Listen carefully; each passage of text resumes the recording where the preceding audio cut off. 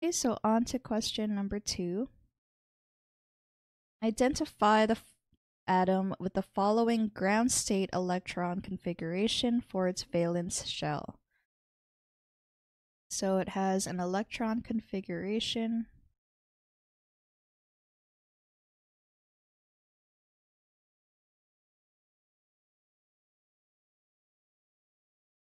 of 4s2 3d10. So we know it will be in row 4.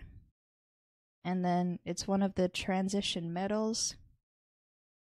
So let me just look up a periodic table with all of the different blocks colored in.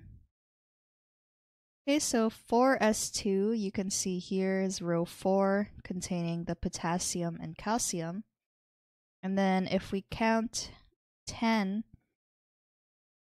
in the transition metals uh, D block section, you'll see that we end up at zinc.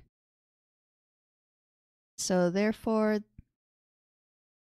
the element with the elect the ground state electron configuration of 4s2 3d10 is zinc. And the junior tutor said electron configurations can be used to identify an element. The entire electron configuration is not needed, only the electrons in the valence shell. Valence shell electrons are outer shell electrons. An electron ending in the d orbital valence shell is usually found in the transition elements group. The element is zinc. So this solution is correct.